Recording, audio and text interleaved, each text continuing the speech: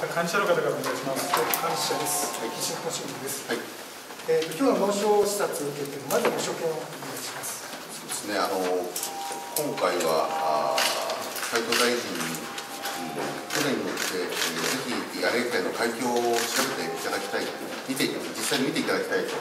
いう申し出に対しまして、えー大臣からあの答えていただいて、まあ、実際、まあ、本日はあの赤潮も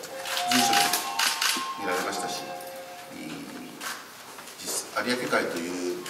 海をおかなり実感いただけたのではないかとそういった意味で、えー90分船に乗っていただいたというのはあ大変有意義だったんだろうと思います。90分とずいぶん濃密な時間だと思うんですが、その船でのやり取り、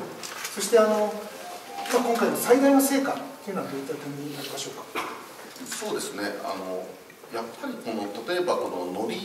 にしても、えー、乗り以外のですね、えー船で、えー取る漁獲にしてもですね、えー有明海って非常に独特の漁獲でありますので、えーやはりあの実感していただくっていうことが大事だと思いますしあれだけ手をかけて大臣からもこんなに手をかけて乗りっていうのは作られるのかと、えー簡単にいい海苔食べられないなみたいな話もありましたしそのぐらいいい思いを持ったものなんだということ、まあ、そして、まあ、特に今日はあの意見交換会の中で、えー820万トンという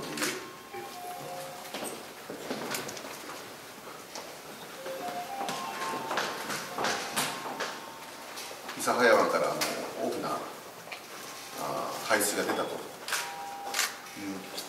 で、まあ、ちょっと今事実関係を調査中でありますけれども、まあ、これはあの農水省に対しても長崎県知事に対しても基本的に100万トン以下でこまめに排水してほしいっていうのは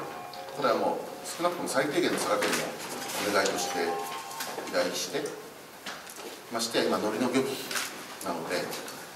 ちょっと事実関係は調査しなければいけませんけれども820万トンの排水というのは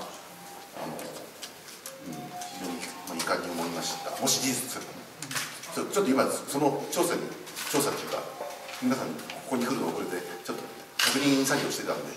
申し訳なかったんですけどまあそのもうそれだけちょっとあの笑いとっては、まあ、今確認しなければ。いけない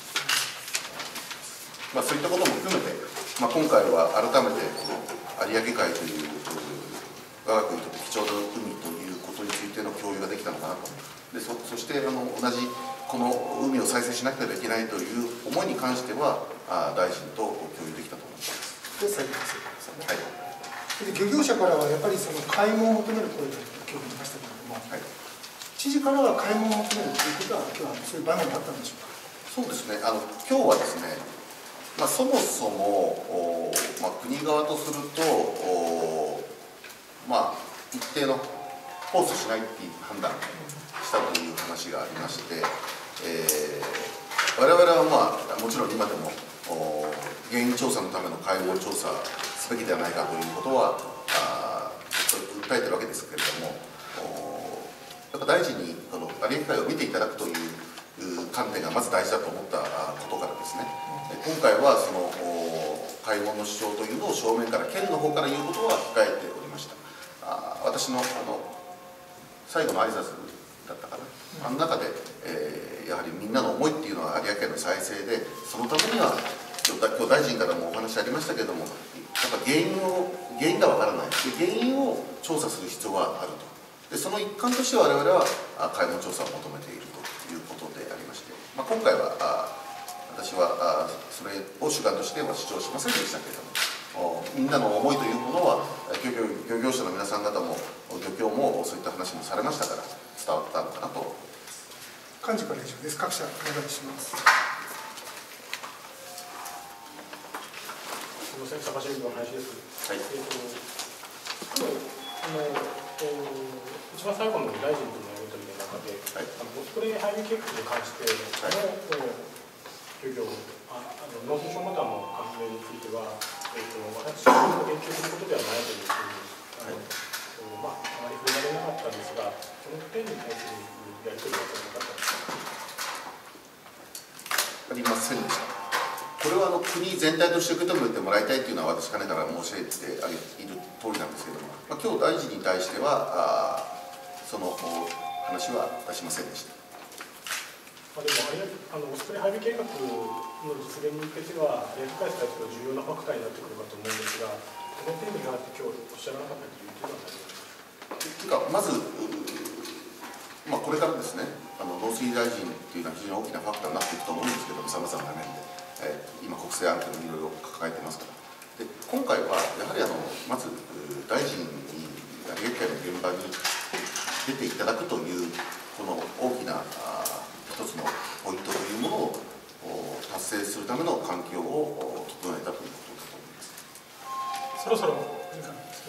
あ NHK の坂本です。あの一坂のその開門訴訟に入っている原告団は今回その、えー意見交換会の中には入らなかったわけですけれどもこれはその理由はどういった理由で？まあ、先ほどとも重複しますけれども、今回は大臣にあの有明海を見ていただくのがあの目的でありましたということ、まあ、これまでは、えーまあ、いろんな仕切りで、えー農水大臣と佐賀県は会ってまいりましたけれども、まあ、特段そういうような形がありましたかね、訴訟団。まだまだね、ということだと思います。ああの特にそういうセットをを考えませんでした。今後そういう可能性ってあるんでしょうか？あそれはまあ状況に応じてと思いますけれども、まあ、基本的にその時その時のおその設定の趣旨というのがあるので、えーまあ、あのいろんな声に応じて、えー環境の変化に応じてそれは考えていくべき問題だと思います。すみません、朝日新聞なんですけれども、今日斉藤大臣から改めて、その会合によらない議案での解決が一番だという話がありましたけれども、それについては、それはどういうことでありましたか？うんまああのいろんな話がありました。今日もですねあの三坂に対してもそのこまめな排水の問題もそうですしあのポンプで出してもらえんかっていう話もありましたそれからまあ基金の問題もありました。さまざ、まな要素があるんだと思います、まあ、そういったものについて、えーやはり漁業者のお立場現場のお状況というものにしっかり踏まえた上でえー国に対応していただきたいというふうに思っています。じゃあ次ありますので。各社よろしいですか？あすみません。じゃあ最後。確認で、先ほどその、まあ、あの有明海を見てもらったことが主眼なんで、まあ、あの今回その、県としては、その買い物を求めなかったということですけども、やってもよかったんじゃないかなと思うんです、もともと来ていただくためにまず現場を見ていただくことが必要じゃないかと私は申し上げたので農水省にお伺いした時にそのなんだ